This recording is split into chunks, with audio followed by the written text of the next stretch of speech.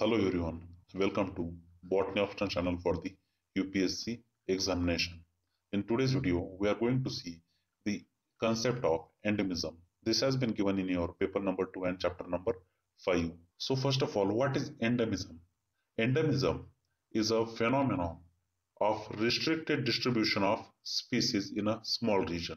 That literally means if some species, if say species A is restricted to very small area and not found in any other area beside this small area, then such a species we call that species as a endemic species. Now consider species B which is restricted to America only. That this B species not found in any other part of the world and such a species we call that species as a endemic species and we call that B species as a endemic to the America only all right. So endemism is a phenomenon of restricted distribution. Now see the term restricted distribution. That means it is very restricted in a distribution of a species in a very small region. Now that this small region may be an island maybe an country or maybe a, some natural habitat which has which has a very unique environmental conditions. All right. So example for the endemic species we have here is a Holmgren's buckwheat that is that is Eriogonum holmgrenii is endemic to the Great Basin National Park of America.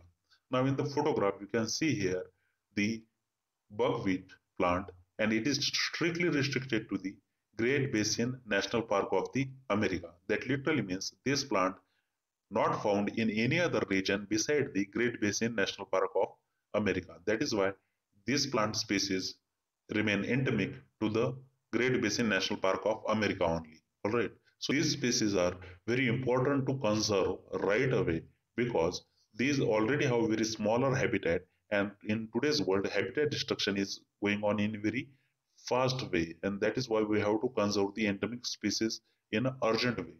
So in this video we are going to give you some homework that is you have to find out the at least one species which is endemic and you have to mention the name of that species in a comment box. All right. So the second example for the endemic species we have here is a Ginkgo biloba. Now this plant Ginkgo biloba as you can see in the picture is endemic to the China and Japan. That literally means Ginkgo biloba this plant is only found in China and Japan and not anywhere in the world. In the photograph, you can see here the whole tree plant is a Ginkgo biloba. It is also a living fossil which is endemic to China and Japan. Alright, so this is the second example of endemism in plants. Alright, now these endemic species have a narrow ecological range and less adaptability. They cannot adjust to the new environment. Now, any particular species which we say to be the endemic in nature has a very narrow ecological range. Now, ecological range means certain species, say species A, has a particular environment in which it thrives very well. That particular environment is ecological range for that species only. And if that environmental range is not found in any other part of the world, that species would not grow in other parts of the world. That is, the particular set of environmental condition found for the growth and survival of species A is restricted to the very smaller part of the world. And that is why that species found in that part of the world only. And that is why that species become the endemic species because they have very less ability and very narrow ecological range. In the photograph you can see here the, the ecological ranges of the climate is given here that some part of the world has a unique ecological combination shown in a yellow part have a same ecological and environmental condition. That is why some types of species may favor such an environment. Now in a blue, we have different region. Now this part of the world has a different environment. That means there are there will be the different species found in this region. So any species which requires the particular set of environmental conditions for the growth will be the endemic species and which is have a very less adaptability for the other range of the environments that that is why they cannot adjust to the new environment because they want a particular set of environment for survival right now what what are the causes of endemism that means what causes to make species the endemic species? Why species becoming the endemic species? What are the reasons?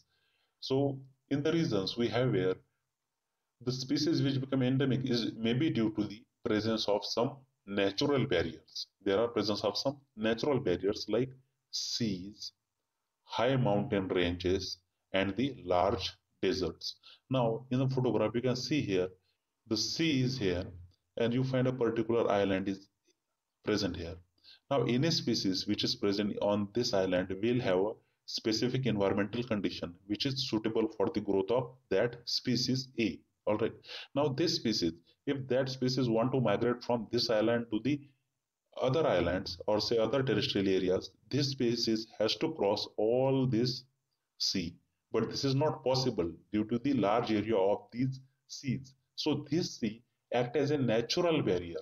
This sea act as a natural barrier to confine this species to this island only. And that is why species A becomes the endemic species, right? So natural barriers like seas can make species endemic species. Now there is a second second natural barrier we have here is a mountain. Now you can see here the large mountain in the photograph. Now what happens in a natural habitat? Some species are growing in a bottom of the mountain in the valley all right and due to the surrounding mountain these species cannot migrate from this place to the another place. Also their seeds and spores were also got restricted to this area only because wind cannot blow them above to this mountain range. All right. So that means this mountain make this, these species to remain endemic in that valley only. So again, this is the very natural barrier which making the species the endemic species. That is the high mountain ranges. Then we have the large deserts. In a third photograph, you can see here it's a desert. Now, any species which is adapted to the desertic condition will try to go beyond this desertic condition. But due to the large size of these deserts, the seed dispersal and the very less any animal presence, the seed dispersal is not possible and hence these species are forced to live in the desertic conditions only. And that is why these species became the endemic species to the deserts only. Alright, so there are very natural causes why species becoming the endangered species. And these natural barriers are the seas, high mountain ranges and the large deserts, etc. Alright, now there is another cause of endemism as well this is the poor adaptability of a species for the wide range of the ecological conditions. As we have discussed earlier, if we consider the species A is uh, very well adapted to the rainforest. All right. So in the first photograph, you can see here the rainforest. Now, species A is very well adapted to the rainforest because it requires the large amount of water and this large amount of water, the species A and the species A get this large amount of water in the rainforest. That is why species A can thrive and survive in a rainforest. But such a species is not found in grasslands because there is no large availability of water in the grassland. So does to the deserts. Now deserts, as we know, we really don't have any water. So that is why species A cannot survive in a deserts as well. Next ecological range we have here is a aquatic habitat. Now aquatic habitat on the other hand have plenty of water that plants always remain submerged into the water. Now species here will also not get adapted because it is not adapted to the aquatic conditions. That means the species can only survive in the rainforest and it cannot be adapted to the other ecological conditions. So the cause for the endemism is a poor adaptability of any species to the wide range of ecological conditions. In this slide, we have considered the four ecological conditions. First is the rainforest, then we have grassland, then we have desert here, and then the aquatic condition. This example uh, we have taken here is a species A, which is adapted to the rainforest only because it requires plenty of water and the species is totally terrestrial in nature. That is why such a species cannot grow in grassland nor in a deserts and nor in aquatic conditions. So species A has a very narrow ecological range and has a poor adaptability for the rest of the environmental conditions. All right. Now, what are the types of the endemism? Now we are going to see the types of endemism. The very first type of endemism is ancient endemics. In the ancient endemics, the species are the survivors of once widely distributed species in the past. That is, in a past time, the species is widely distributed on the mother earth, but now that species are found in a very few number. That is, they are the survivors of the past species which is distributed throughout the globe. Alright. Although in ancient times they have distributed widely, but now they have very narrow range due to the geological and geographical and climatic conditions. Now nowadays the geological, geographical and climatic conditions have been changed and that is why these species are became the endemic species. Again, we have example here is a Ginkgo biloba, which is an living fossil now. Now, this tree represents the Ginkgo biloba. This plant, that is Ginkgo biloba, was spread throughout the world in a past, but due to the certain geographical and climatic conditions, in the recent times, these plants is only found in China and Japan. All right. So this is the first type of endemism that is the ancient endemism in which the species in ancient times were widely distributed but now it has become narrowly distributed and become the endemic and the example for the ancient endemics is the Ginkgo biloba plant. Now the second type of endemics is a new endemics. Now these species are newly evolved species which have a small range of distributions. These species that is the species belonging to the new endemics are newly evolved species. That is in evolutionary time. These are species are newly evolved species and that is why have a very small range of distribution. These species are originated recently as a result of evolution. And the example for these species is a Piper nigrum. Now this plant is recently evolved and distributed to the very small range. That is why it comes under the new endemics. The third type of endemism we have is a pseudo-endemics. These species are mutant forms of their parental species, which cannot compete with their parental species and eventually disappear. Now, in the evolution, we may have studied the mutant species are uh, got created due to the certain mutations, but these new species cannot compete with their parental species and eventually may get disappear. The example for this we have here is a polar bear.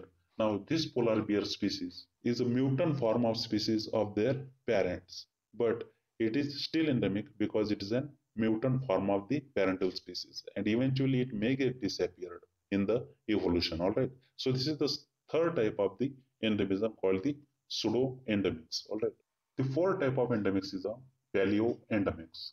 Now, these species are originated in ancient times and remain distributed to the small area due to the favorable conditions. Like the ancient endemics, paleoendemics were also originated in the ancient times, but they, they are not distributed throughout the world as like the ancient endemics, but the paleoendemics are distributed to the very small area, all right, due to the favorable conditions. As you know, many plants and animals requires a very specific conditions for the growth.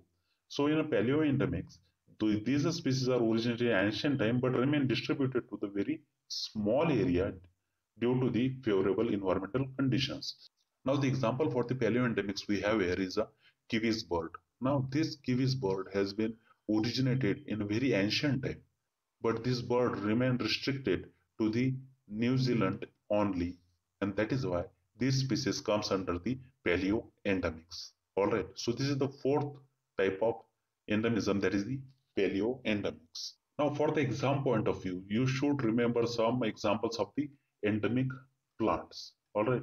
Now here are I have mentioned the five plants. You should note it down in your notebook. That is these species are endemic species. First is the Ficus religiosa. Second, Butea monosperma. Then Aegle marmelos then Crotalaria juncea, then rhododendron. All right.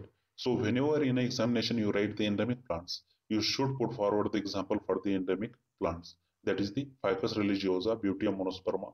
Aegle marmelos, Crotalaria juncea, and rhododendron. Alright. So thank you very much for watching this video. Please like the video. Please comment if you have any question. And please share this video with your friends who are studying the botany subject. And please subscribe to the Botany Optional channel for the UPSC examination. Thank you very much for watching. See you in the next video.